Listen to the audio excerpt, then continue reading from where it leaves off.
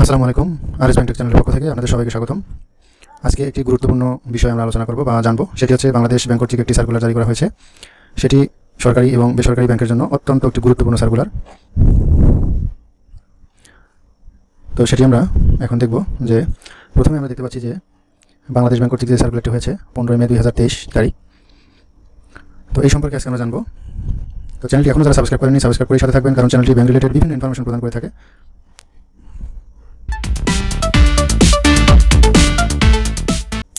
ব্যাংকের চুক্তিভিত্তিক কর্মকর্তা কর্মচারীগণের জন্য প্রভিডেন্ট ফান্ড বা পিএফ ফান্ডের যে টাকাটি, সেটি এবং গ্র্যাচুইটি প্রদানে অনুসরণীয় নীতিমালা প্রসঙ্গে।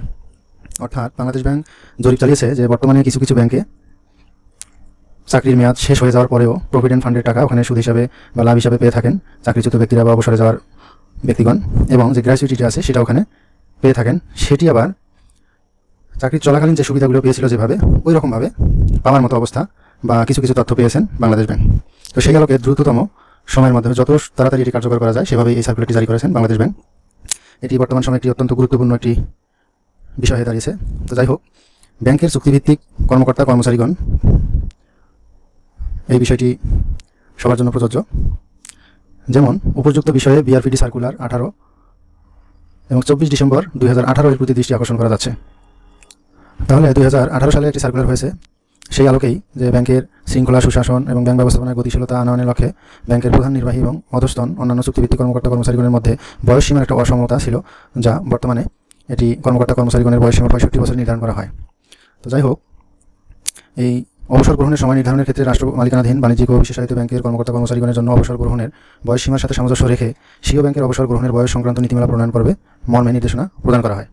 তো যাই হোক, আমরা মূল বিষয়টি এখন জানব যে কতিপয় ব্যাংকে কর্মরত কর্মকর্তা কর্মচারীগণের নিয়মিত চাকরির মেয়াদ সম্পন্ন হওয়ার পর তাদের মধ্য হতে কোনো কোনো কর্মকর্তা কর্মচারীকে চুক্তিভিত্তিক নিযুক্তির ক্ষেত্রে তাদের নিয়মিত চাকরি চলাকালীন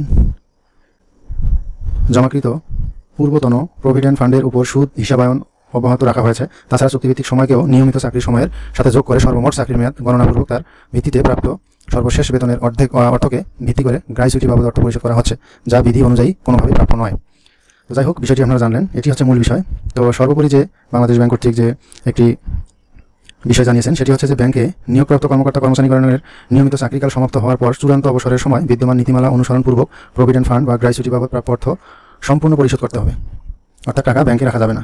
ব্যাংকে না রেখেই চাকরি শেষ হওয়ার পর এই সুবিধাগুলি দিয়ে দিতে হবে। চুক্তিভিত্তিক কর্মকর্তা কর্মচারীকরণের জন্য কোনো প্রভিডেন্ট ফান্ড সৃষ্টির প্রয়োজন নেই। এবং তারা এরূপ সুবিধা প্রাপ্য হবে না। অর্থাৎ চাকরি চলেই যাওয়ার পর যে এখানে যে সুবিধাগুলি নিয়েছেন, এগুলি আর পাবেন না। গ নম্বরে চুক্তিভিত্তিক নিয়োগপ্রাপ্ত কোনো কর্মকর্তা, কর্মচারী নতুন করে কোনো গ্রাইচুটি সুবিধা প্রাপ্য হবেন না। এটি ব্যাংক কোম্পানি আইন উনিশশো একানব্বই এর পঁয়তাল্লিশ ধারায় প্রদত্ত ক্ষমতা বলে এই নির্দেশনা জারি করা হলো। এই নির্দেশনা অবিলম্বে কার্যকর করা হবে। তো এটি বাংলাদেশ ব্যাংকের আসলে একটি সতর্কবাণী। অনেক ব্যাংক যেভাবে এটি করেছে, সেই হিসাবে ওনারা তদন্ত সাপেক্ষে একটি উপযুক্ত সিদ্ধান্ত নিয়েছেন। যাই হোক, বিষয়টি আপনারা জানলেন। দেখা হবে অন্য কোনো দিন, অন্য কোনো বিষয় নিয়ে। তো চ্যানেলটি এখনও যারা সাবস্ক্রাইব করেনি সাবস্ক্রাইব করে সাথে থাকবেন।